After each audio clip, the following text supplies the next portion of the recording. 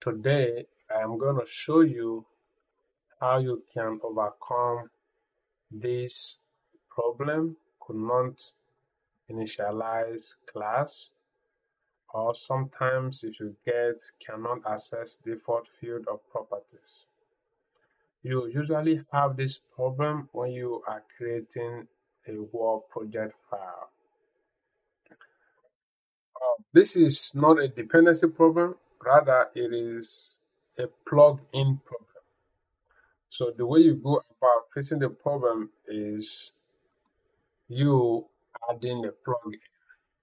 If I go to my POM XML, you see the uh, red star here it tells me cannot access default field of properties.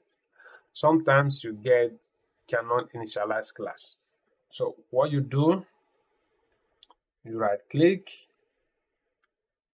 then you go to Maven, Maven, add plugin, then uh, your group ID for the plugin is org dot apache dot maven dot plugins. The artifact ID is maven dash war dash plug in.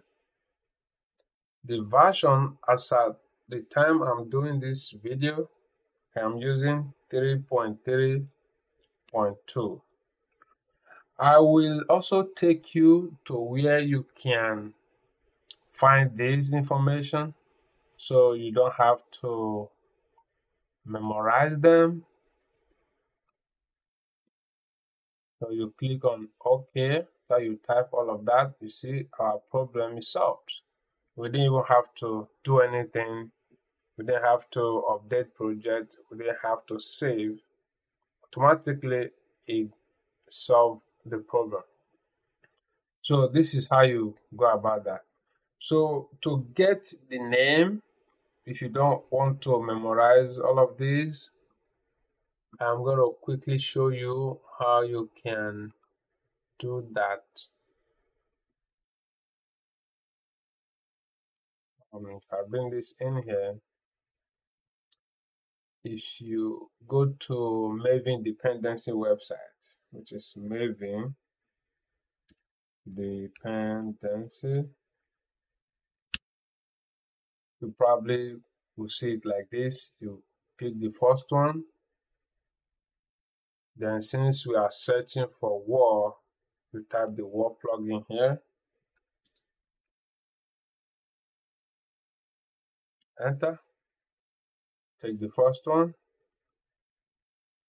Then um so today i'm using this. So probably when you are doing your own project you might have a higher version. So i click on this one. These are my informations. This is the group id artifact id and version.